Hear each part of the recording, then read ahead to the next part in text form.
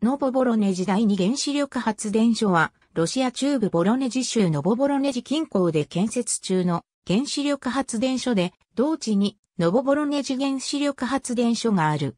2006年にロシア政府は2007年から2015年にかけて原子力発電所を増設する計画を策定した。この計画では、ノボボロネジ第2発電所に2機の原子炉を設置し、1号機を2012年、2号機を2013年から運転開始する予定であった。もともと、ノボボロネジ第2原子力発電所の建設については1999年から議論が始まっていた。2007年6月20日には建設予定地の整地が始まり、2009年7月12日に起工式が行われた。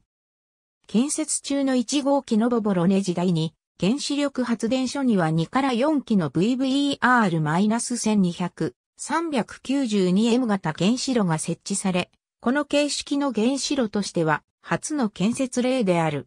当初計画では1号機は2012年、2号機は2013年に送電網を同期する予定であった。建設費は110から130億ルーブルである。